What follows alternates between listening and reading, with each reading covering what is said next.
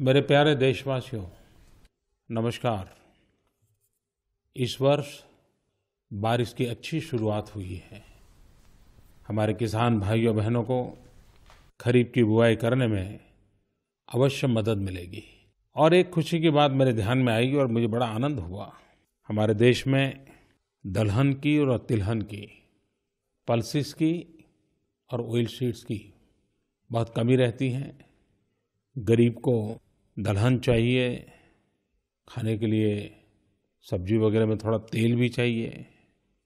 मेरे लिए खुशी की बात है कि इस बार जो बुवाई हुई है, उसमें दलहन में करीब करीब 50 प्रतिशत वृद्धि हुई है और तिलहन में करीब करीब 33 प्रतिशत वृद्धि हुई है। मेरे किसान भाई बहनों को इसलिए सविशेष बधाई देता हूँ, उनका बहुत अभिनंदन करता हूँ। मेरे प्यारे देशवासियों 26 जुलाई हमारे देश के इतिहास में कारगिल विजय दिवस के रूप में अंकित है। देश के किसान का नाता ज़मीन से जितना है, उतना ही देश के जवान का भी है। कारगिल युद्ध में हमारा एक एक जवान सौ सौ दुश्मनों पर भारी पड़ा। अपने प्राणों की परवाह न करके दुश्मनों की कोशिशों को नाकाम करने वाले उन वीर सैनिकों को शत शत नमन करता हूँ। करगिल का युद्ध केवल सीमाओं पर नहीं लड़ा गया। भारत के हर शहर, हर गाँव में इस युद्ध में योगदान था। ये युद्ध उन माताओं और बहनों ने लड़ा जिनका जवान बेटा या भाई करगिल में दुश्मनों से लड़ रहा था। उन बेटियों ने लड़ा जिनके हाथों से अभी पीहर की मेहंदी नहीं उतरी थी। पिता ने लड़ा कि अपने जवान बेटों को देखकर खुद को जवान महसूस करता था और उस बेटे ने लड़ा जिसने अभी अपने पिता की उंगली पकड़कर चलना भी नहीं सीखा था। इनके बलिदान के कारण ही आज भारत दुनिया में सर उठाकर बात कर पाता है।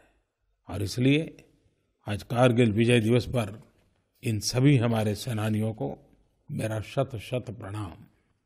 26 जुलाई एक और दृष्टि से भी मैं जरा महत्वपूर्ण मानता हूँ, क्योंकि 2014 में हमारी सरकार बनने के बाद कुछ ही महीनों में 26 जुलाई को हमने माय गौ को प्रारंभ किया था। लोकतंत्र में जनभागीदारी बढ़ाने का हमारा संकल्प जन जन को विकास के कार्य में जोड़ना, और मुझे आज एक साल के बाद ये कहते हुए खुशी है करीब दो करोड़ लोगों ने माई गौ को देखा। करीब करीब साढ़े पाँच लाख लोगों ने कमेंट्स किए। और सबसे ज़्यादा खुशी की बात तो ये है कि पचास हज़ार से ज़्यादा लोगों ने पीएमओ एप्लीकेशन पर सुझाव दिए। उन्होंने समय निकाला, माइंड अप्लाई किया, इस काम को महत्वपूर्ण माना। और कैसे महत्वपूर्ण सुझाव आए? कानपुर से अखिलेश वाजपेयी जी ने एक अच्छा सुझाव भेजा था कि विकलांग व्यक्तियों को रेलवे के अंदर आईआरसीटीसी वेबसाइट के माध्यम से कोटा वाला टिकट क्यों नहीं दिया जाना चाहिए?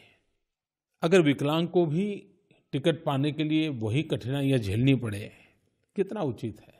अब यूँ तो बात छोटी है, लेकिन न कभी सरकार में किसी को ये ध्यान आया, न कभी इस पर सोचा गया। लेकिन भाई अखिलेश वाजपेयी के सुझाव पर सरकार ने गंभीरता से विचार किया और आज हमारे विकलांग भाइयों बहनों के लिए इस व्यवस्था को लागू कर दिया गया। आज जो लोगो बनते हैं, टैगलाइन बनते हैं, कार्यक्रम की रचना होती है, पॉलिसी बनती है, माय गॉव पर बहुत ही सकारात्मक सुझाव आते हैं। शासन व्यवस्था में एक नई फ्रेश एयर का अनुभव होता है, एक नई चेतना का अनुभव होता है। इन दिनों मुझे माई गॉव पर यह भी सुझाव आने लगे हैं कि मुझे 15 अगस्त को क्या बोलना चाहिए। चेन्नई से सुचित्रा राघवचारी, उन्होंने काफ़ी कुछ सुझाव भेजे हैं। बेटी बचाओ, बेटी पढ़ाओ पर बोलिए, क्लीन गंगा पर बोलिए, स्वच्छ भारत पर बोलिए। लेकिन इससे मुझे एक विचार आया, क्या इस बार 15 अगस्त को मुझे क्या बोलना चाहिए? क्या आप मुझे सुझाव भेज सकते हैं? माई गॉव पर भेज सकते हैं। आकाशवाणी पर चिट्ठी लिख सकते हैं, प्रधानमंत्री कार्यालय में चिट्ठी लिख सकते हैं। देखें, मैं मानता हूँ शायद ये अच्छा विचार है कि 15 अगस्त के मेरे भाषण को जनता जनार्दन से सुझाव लिए जाए। मुझे विश्वास है कि आप ज़रूर अच्छे सुझाव भेजेंगे। एक बात की ओर मैं अपनी चिंता जताना चाहता हूँ। मैं कोई उपदेश देना नहीं चाहता हूँ। और न ही मैं राज्य सरकार, केंद्र सरकार या स्थानीय स्वराज के संस्थाओं की इकाइयों की जिम्मेवारियों से बचने का रास्ता खोज रहा हूँ। अभी दो दिन पहले मैंने दिल्ली की एक दुर्घटना के दृश्य पर मेरी नज़र पड़ी और दुर्घटना के बाद वो स्कूटर चालक दस मिनट तक तड़पता रहा। उसे कोई मदद नहीं मिली। वैसे भी मैंने देखा है कि मुझे कई लोग लगातार इस बात में लिखते रहते हैं कि आप रोड सेफ्टी पर कुछ बोलिए। लोगों को सचेत कीजिए। बेंगलुरु के होशा कोटे अक्षय हो, पुणे के अमय जोशी हो, कर्नाटक के मुरबिद्री के प्रसन्ना काकुंजे हो, इन सबने यानी काफ़ी लोगों के हैं नाम, मैं सबके नाम तो नहीं बता रहा हूँ, इस विषय पर चिंता जताई है और कहा है। आप सबकी चिंता सही है, और जब आंकड़ों की तरफ़ देखते हैं तो हृदय हिल जाता है। हमारे देश में हर मिनट एक दुर्घटना होती है। दुर्घटना के कारण, रोड एक्सीडेंट के कारण, हर चार मिनट में एक मृत्यु होती है। और सबसे बड़ी चिंता का विषय ये भी है, करीब करीब एक तिहाई मरने वालों में पंद्रह से पच्चीस साल की उम्र के नौजवान होते हैं। और एक मृत्यु पूरे परिवार को हिला देता है। शासन को तो जो काम करने चाहिए, वो करने ही चाहिए। लेकिन मैं माँ बाप से गुजारिश करता हूँ। अपने बच्चों को, चाहे टू व्हीलर चलाते हो या फोर व्हीलर चलाते हो सेफ्टी की जितनी बातें हैं, उस पर ज़रूर ध्यान देने का माहौल परिवार में भी बनाना चाहिए। कभी कभी हम ऑटो रिक्शा पर देखते हैं, पीछे लिखा होता है, पापा, जल्दी घर आ जाना। और पढ़ते हैं तो कितना टची लगता है। और इसलिए मैं कहता हूँ, ये बात सही है कि सरकार ने इस दिशा में काफ़ी नए इनिशिएटिव लिए हैं।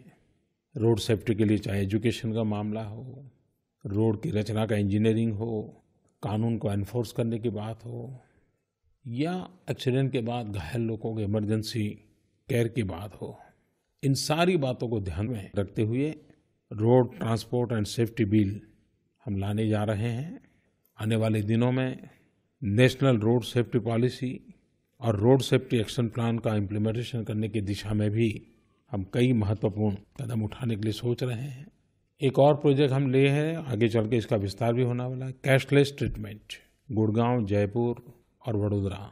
वहाँ से लेकर के मुंबई, रांची रड़गांव महुलिया राजमार्गों के लिए हम एक कैशलेस ट्रीटमेंट और उसका अर्थ है कि पहले 50 घंटे, पैसे है कि नहीं, पैसे कौन देगा, कौन नहीं देगा, इन सारी चिंता छोड़ करके एक बार रोड एक्सीडेंट में जो घायल है, उसको उत्तम से उत्तम सेवा कैसे मिले, सारवार कैसे मिले, उसको हम प्राथमिकता दे रहे हैं।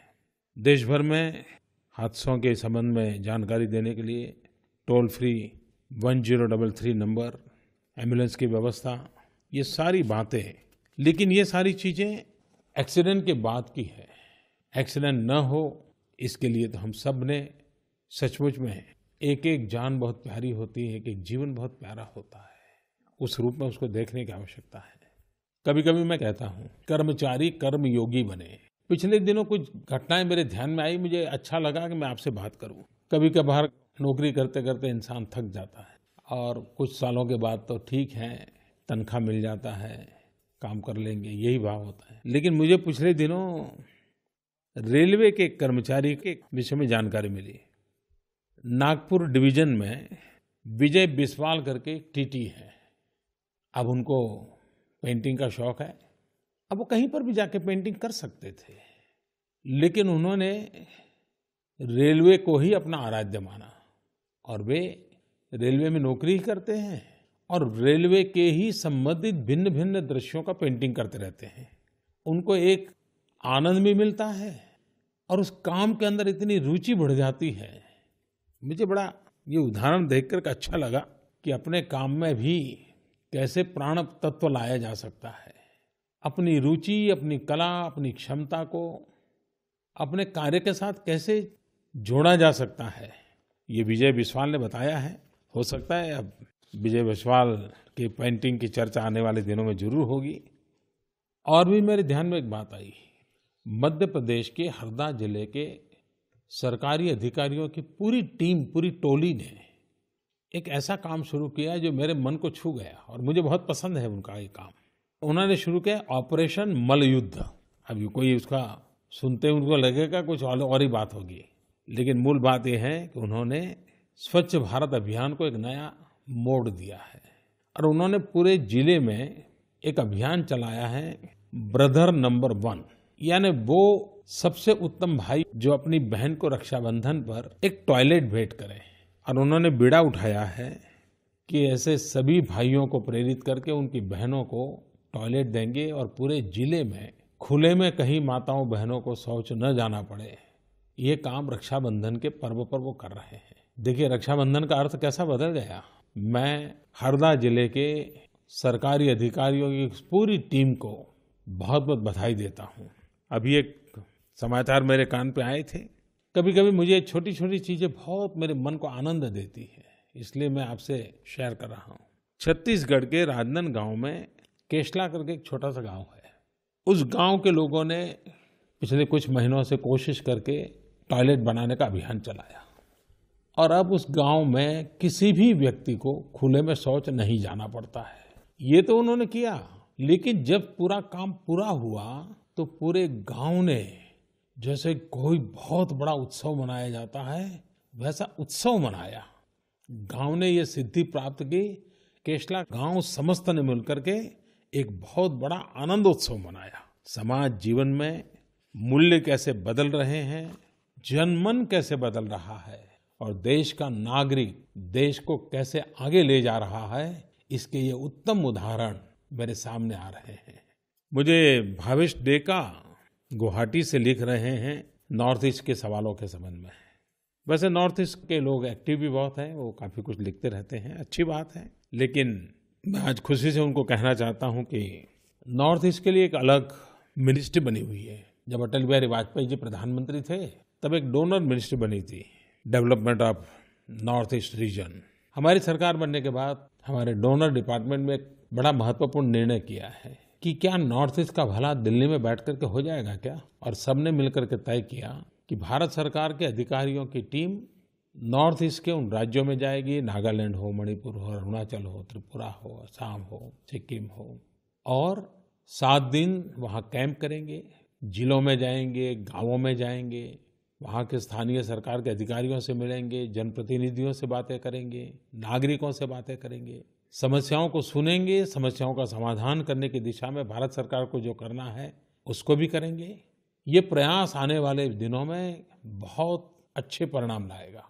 और जो अधिकारी जाकर के आते हैं, उनको भी लगता है कितना सुंदर प्रदेश, उतने अच्छे लोग अब इस इलाके को विकसित करके ही रहना है, उनकी समस्याओं का समाधान करके ही रहना है, इस संकल्प के साथ लौटते हैं। तो दिल्ली आने के बाद भी अब उनको वहाँ की समस्याओं को समझना भी बहुत सरल हो गया है। तो एक अच्छा प्रयास दिल्ली से दूर दूर पूरब तक जाने का प्रयास, जो मैं एक्ट ईस्ट पॉलिसी कह रहा हूँ ना, यही तो एक्ट है।